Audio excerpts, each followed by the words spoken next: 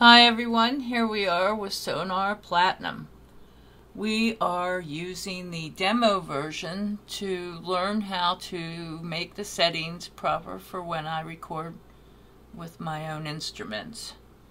At the present I am using a Cakewalk Sonar 5 Studio and of course my big monitors there which puts out a really good sound.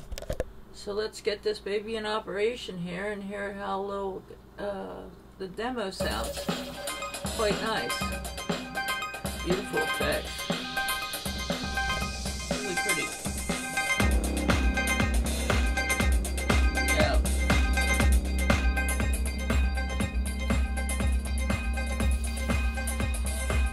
These are virtual instruments it's playing. Anyone can create this with no musical ability. They somehow insert the tracks or whatever process is used to record pre-done tracks. I'm not sure. Anyway, basic sound. Pretty cool. Okay, Scott, got it.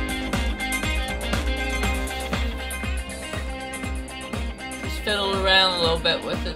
In total operation within 48 hours.